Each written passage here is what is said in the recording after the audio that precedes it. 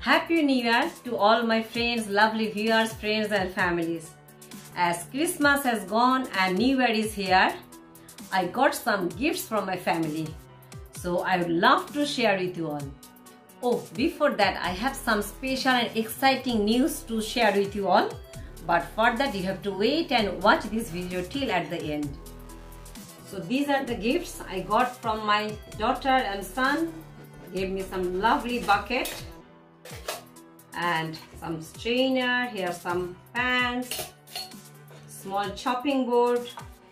So you can see all are YouTube related. And lovely mats I received got from them. And I understood this is for this food photography mat but this I'm not sure. So let me read the instruction. I'll come to know what are these.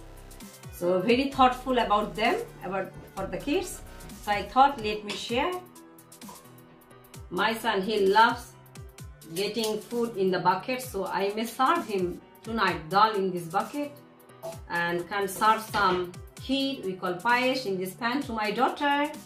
And he, she loves some fried food so I can put here in this strainer all these gifts are from my kids. So would you like to know what my beloved husband gifted me? So that's this book O Calcutta O Calcutta is one of the best fine dining place you can say to try Bengali cuisine. They have lots of outlets in all over Bang uh, India you can say. So yes, I got this lovely book from him. So no worries, definitely some lovely recipe will come to my channel. So please keep watching so that you can get those recipes in my channel. For that, you have not done yet, quickly please subscribe to my channel and press the bell icon so that you can get the notification to get those recipes. Now I shared what all gifts I got from my kids and from my husband. Now time came to share that exciting and special news with you. Now my special and exciting news is I never thought that through my YouTube channel I can ever start cooking session, cooking classes in any platform. So thanks to, Diaspo. So I am going to, Diaspo is a cooking school. So I am going to teach their Indian cuisine. So my first session will be in 11th January. And do you know what I'm going, am I going to cook there?